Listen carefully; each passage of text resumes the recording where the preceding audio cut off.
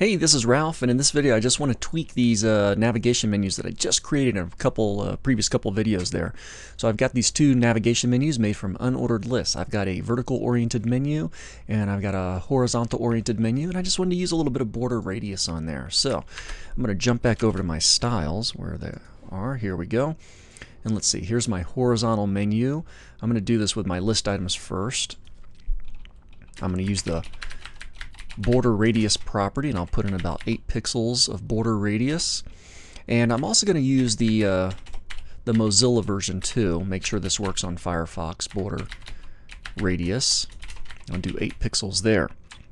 So this is the border radius for my list items but I also have these block uh, these anchor tags that are also block elements. So let me jump down to my anchor tags and I'll add that on there Go ahead and save it. Jump back over to my browser, refresh.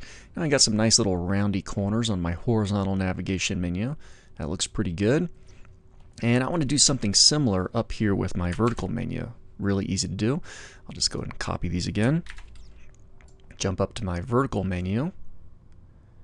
There we go. Vertical menu anchor tags. And vertical menu list items. I'll go ahead and save those, browser, and refresh. So now I've got some rounded corners up on this vertical menu too. Now using this particular technique, you can start to experiment a little bit more with making different kinds of looks for your navigation menu. For instance, let's say I want to create more of a tab interface look. So I could jump back over to my control for my horizontal menu. Here it is, horizontal list items. And instead of doing 8 pixels of border radius on all four sides, I can do 8 pixels of border radius on the top left and top right corners, and then do 0 pixels on the bottom left and bottom right corners. And let me just go and copy these measurements, paste them there. Then I can take all of these, copy them, and paste them up here.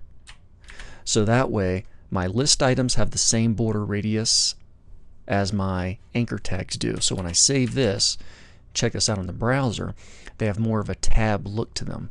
And if I want them to be a little bit closer together, I just need to adjust their um, their margin. So if I go back to my list items, I see they have this margin of 10 pixels. I could set that margin to be 0 pixels.